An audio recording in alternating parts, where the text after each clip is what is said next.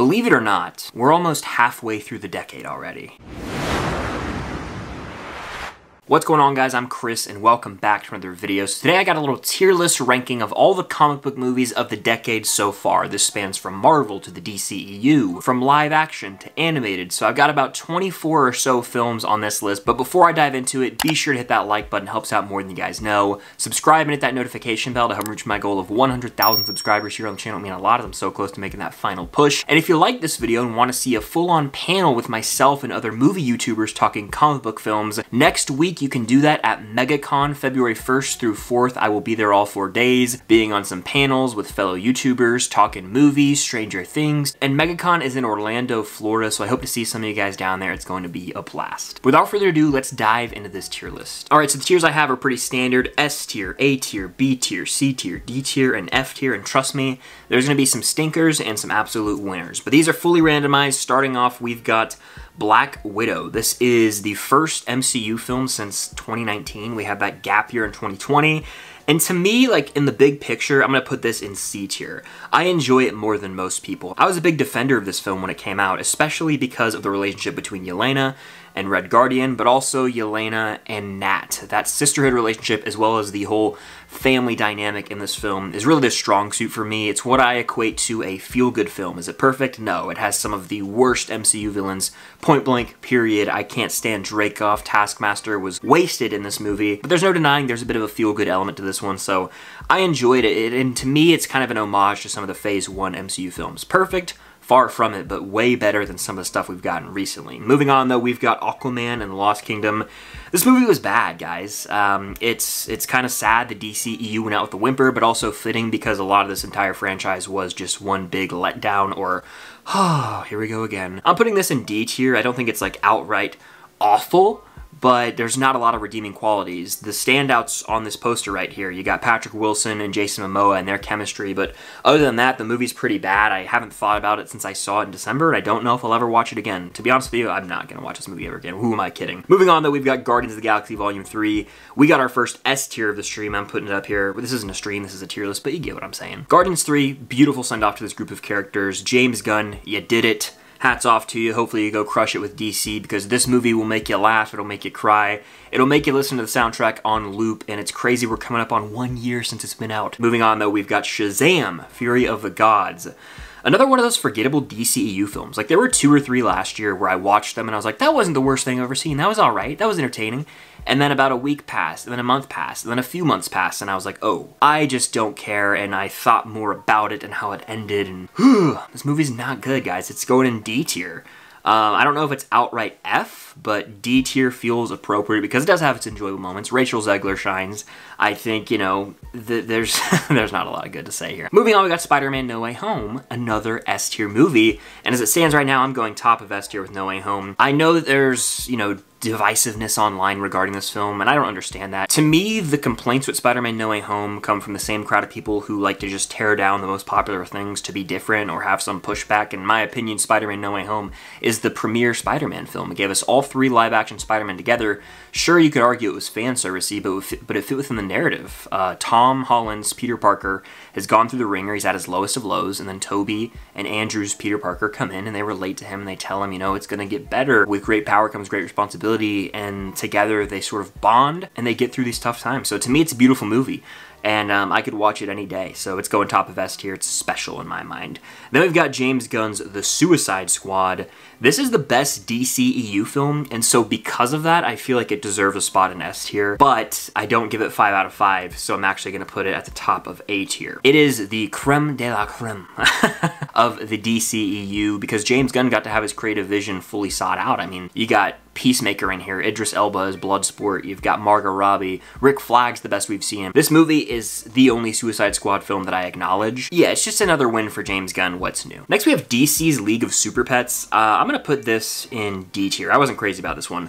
I'd probably watch it over these two just because it's a lighter watch and easier to consume, but I remember just checking out in the theater, dozing off, being like, oh, is this thing over yet? Sure, it probably landed with the target market of like 5 to 7 to 8 year olds, maybe 10 year olds, but I was not feeling it. But I am very aware this isn't a movie really made for me. Next, we have Shang-Chi and the Legend of the Ten Rings. I'm to put this in A tier, right behind the Suicide Squad. This was a breath of fresh air when it came out in the MCU because it gave us some badass hand-to-hand -hand combat. It showed us the fantasy side of the MCU with Ta Lo, and it felt so unique at the time. Now, I haven't gone back and watched this one in a bit, but I thoroughly enjoyed it. I actually saw it three times in theaters and was like, hell yeah, to Shang-Chi. So it's like a strong four and a half out of five to me.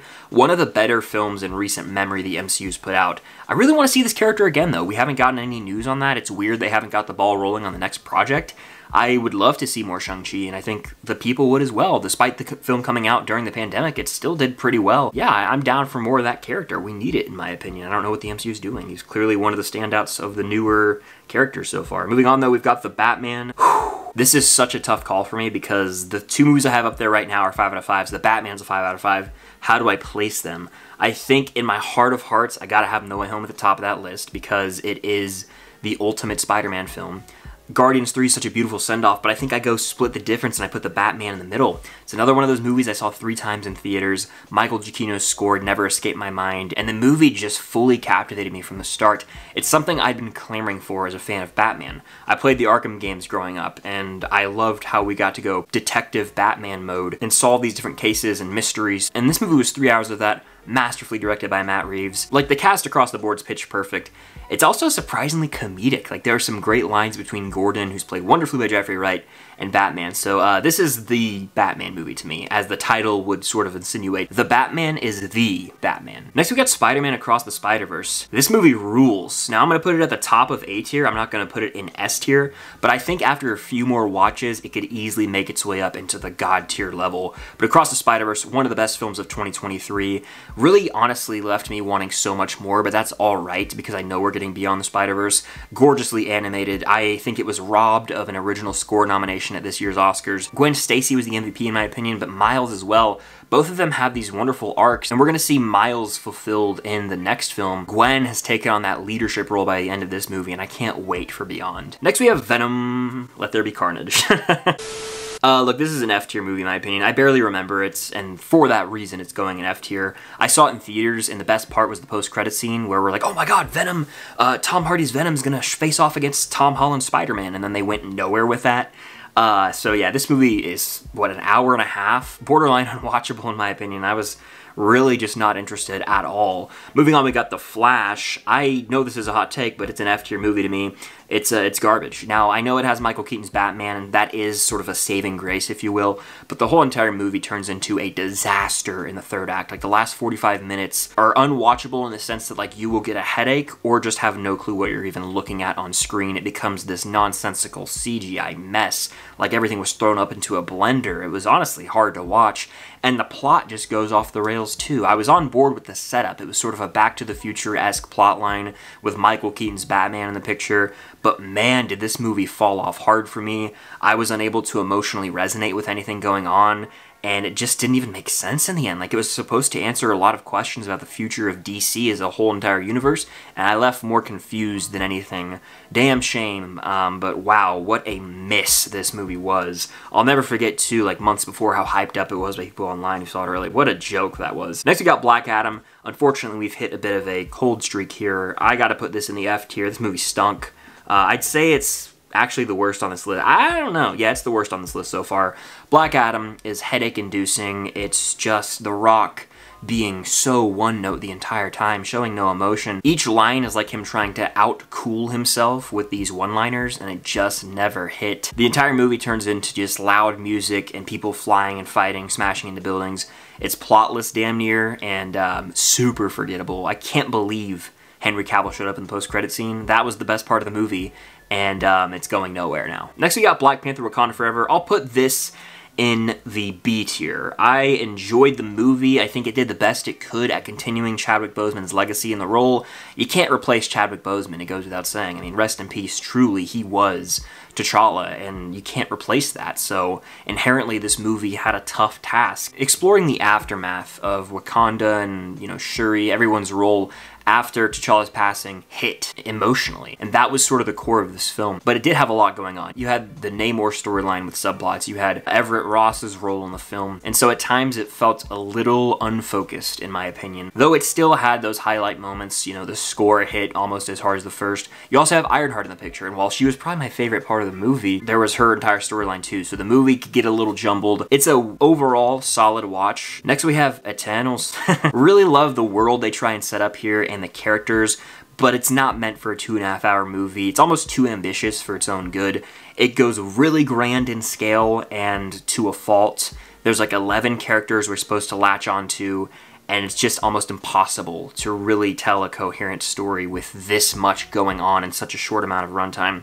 I'll put it in C tier. I actually think I watch Black Widow over it and prefer Black Widow as a movie. So Eternals, you know, I hope we see some of them come back, but that's not looking like it's ever gonna happen. Next we got Doctor Strange in the Multiverse of Madness. Super disappointed with this one. I don't think it's an F tier movie necessarily, but I would go D tier, probably at the top. Uh, the Illuminati scene alone puts it over everything else in D tier, but man, did I want to love this movie, and I walked out super, super bummed out because it didn't know what it wanted to be. Did it want to be a sequel to WandaVision, or just a straight up Scarlet Witch movie? Did it want to be a second Doctor Strange movie, or this movie that sets up the multiverse and Illuminati? Way too messy, in my opinion. I can appreciate Sam Raimi's direction and the vision that he has. Even some of the performances I dug, but this movie was just missed opportunity after missed opportunity and super all over the place. It should have just been Strange's movie, and then they could have done another Wanda project. That's my two cents on the matter. Next, we had Ant-Man and the Wasp, Quantumania. I am sort of a defender of this movie, it seems. I would go at the top of C tier, arguably. Um, you know, I thought the movie was fun, and I'm aware it's flawed, but I thought Kang had that threatening screen presence as a villain, and they set him up really well. Scott and Cassie's relationship was sort of the appeal here, that father-daughter relationship throughout the movie, and over the course of the film, Scott realizing that he needs to stop being all about himself and care more about his family a bit. So, I don't know. People really overhate on this one, in my opinion. It is far from perfect, trust me. But I've only seen it the once, and I enjoyed my time quite a bit, so I'll have to revisit it and see if it holds up, but I'm kind of scared to do that now. Next we got Morbius. Funnily enough, I think I would watch this over these two DC films just for the memes. but it's bad. It's bad, guys. And um, I don't know what Sony is doing because it seems like they have two more Morbius films on their hands with Kraven and Madame Web. It's going to have that Morbius effect where it bombs at the box office and just becomes a walking meme. And I don't know who can change that. Can anyone intervene to stop this from happening? Because it's just going to further set back Sony and any potential of Spider-Man 4 being truly great. So it disgusts me. But um, buckle up for 2024. We're getting three Sony Marvel films. Next, we got Wonder Woman 84, which is garbage. Honestly, I think I would watch The Flash over it just because the simple fact that it has Michael Keaton's Batman. But this movie goes off the rails. Wonder Woman 84, the whole like last 30 minutes, almost 45, you've got this whole wish plotline of people having their wishes granted. It just turns into a disaster, people. Pedro Pascal's in this movie, and I bet you forgot about that. There's hardly any action scenes for the first 70 minutes when it was marketed as this big action spectacle. What a disaster, frankly. There's no other way to put it. Next, we got Zack Snyder's Justice League. Uh, it's fine. I do think it's wildly overhyped. It's a much better movie and more coherent than the first theatrical cut, but it's four hours long for no damn good reason. The last 40 minutes of this movie are just straight up post-credit scenes that are leading to nothing. I like the dynamic of the team here more. They definitely make it all make sense and they add more depth to Cyborg, but I can't say I love this one. I would probably go like top of C tier with it, honestly, and I've watched it once when it came out, but I haven't revisited it since then, and that's a sign to me personally. So C tier, you know, it's fine, but I do think it's wildly overhyped. It's watchable and enjoyable for sure, but wildly overhyped. Next, we've got The Marvels, another movie that I'm sort of a defender of, surprisingly enough. I'd put it right behind Quantumania. Um, actually, right over Quantumania. I think they're about equal films to me. What has it over Quantumania, though, is Iman Vellani's performance as Miss Marvel, and more importantly, the trio. The chemistry between them was a standout to me. I know the movie's messy. The first 20 minutes, it's really struggling to find its footing. It's jumping from person to person, location to location. It was like, whoa, what's going on? I was almost overwhelmed or overstimulated, but I enjoyed it enough. It had some really good laughs, specifically with Kamala's family and Nick Fury being with them. Also, I didn't mind the third act showdown. I thought it was pretty cool fight with the main villain, but I am aware this film is flawed. I do think it's way better than people give it credit for, though. Some people are like, it's the worst MCU movie. I can't get on board with that. Next, we have Blue Beetle, which I wanted to like, trust me, but it's a D-tier movie. And right now, I'd say it's my favorite of the DCEU films from last year, uh, but that's not saying much. I didn't like this movie. It was very cliched, very predictable. From the start, I could tell you everything that was going to happen after the first 10 minutes.